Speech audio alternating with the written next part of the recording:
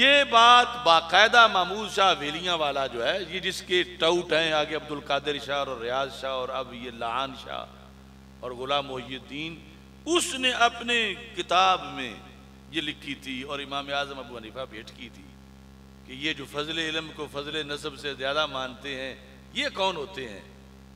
था जो नाखूब बतदरीज वही खूब हुआ। उधर बरेली के ताजदार हु बहू इसी मकाम पे आके दिफा कर रहे थे। और महमूद शाह, जिस पे आज ये कई लोग शामिल हो गए, और कुछ बोल नहीं रहे कि सादात हैं सादात हैं। आल हज ने फरमाया, फिर तो ये लाजम आएगा कि कोई शराबी जानी आज का कहलाता सैयद हो कहा जाए ये मौला अली से अफजल है क्योंकि वो तो जुज नहीं थे, और ये जुज है। और उसने बाकायदा लिखा है, महमूद शाह ने। मेरे पास उसका मुकम्मल मवाद मौजूद, उसने लिखा है अपनी किताब में कि जुजियत के शरफ को कोई चीज़ नहीं पहुँचती।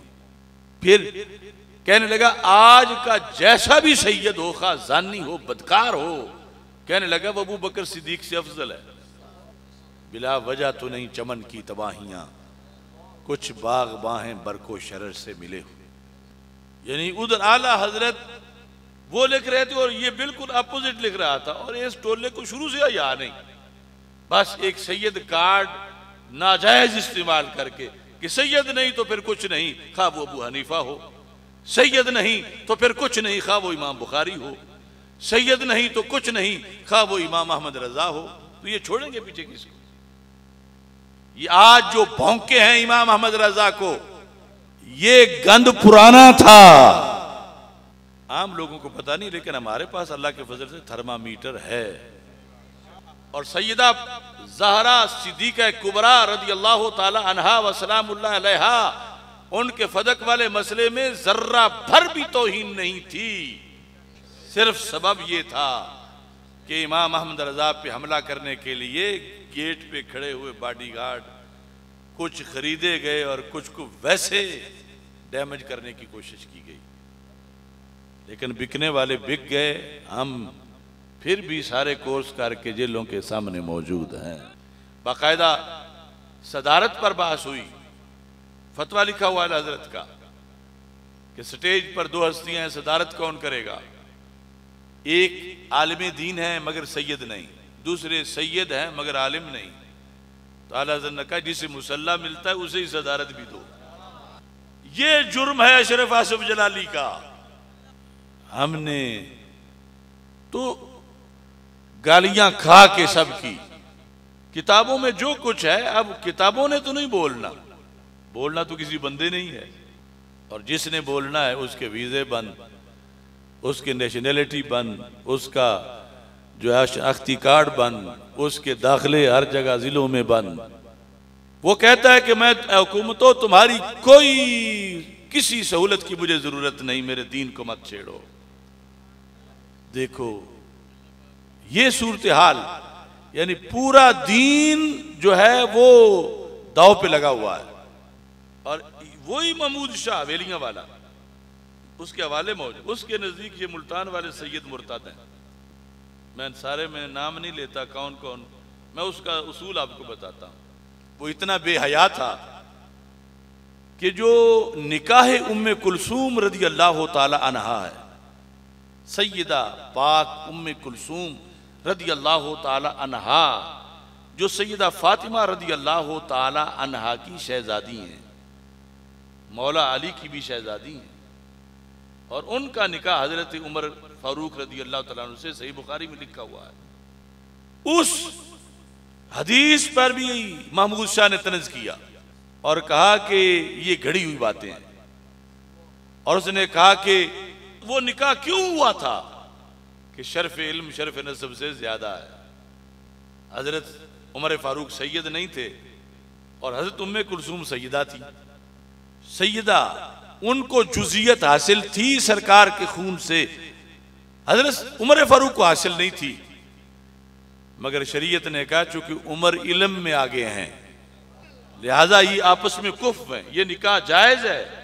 महमूद शाह टोला जो अब सारे तकरीबन अस्सी फ़ीसद सैयद उसमें शामिल हो चुके हैं, इन खराफात में उसने ये कहा कि जो उस निकाह को जायज़ समझे या आज सैदा का गैर सैद आलिम के साथ जायज़ समझे तो वो मुर्तद है और वो निकाह जिना है। और मुल्तान के कितने शहजादे हैं, सादात, जिनकी बहनें गैर सईदों के घर में हैं, जिनकी बेटियाँ गैर सईदों के घर में हैं। ये कौन सा अब नया दीन आने लगा?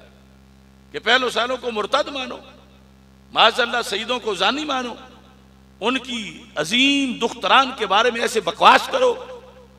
ये जुर्म था महमूद शाह का, ये जुर्म है रियाज शाह का, अब्दुल कादिर शाह का मुनवर शाह का।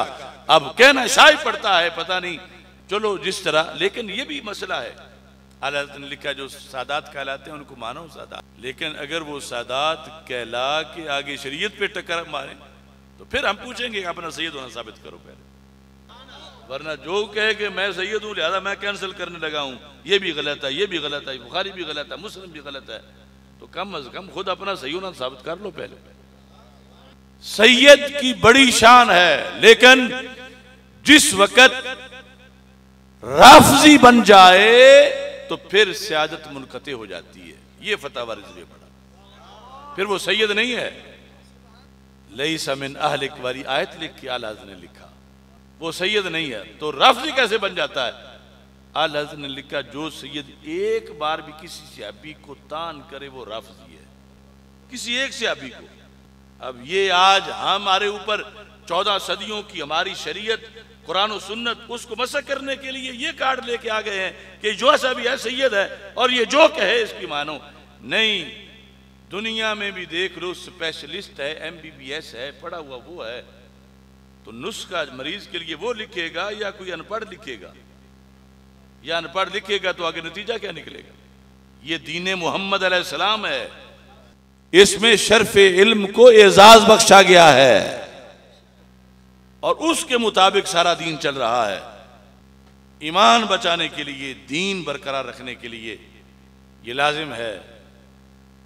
मसल के आला हज़रत पहचानो और इसको आगे बयान करो और इस बयान में किसी का कोई लिहाज ना करो। अगर लिहाज करता तो मैं अपने पीर के बेटों का लिहाज करता। मुझे जो मिला है हाफुल हदीस की निगाह से मिला है। मगर जब उन्होंने मसलक को छोड़ा है तो हमने उनको नहीं छोड़ा फिर। यानी वही अशरफ आसिफ जो उनके जूते सर पे रखता हो, लेकिन अब नहीं।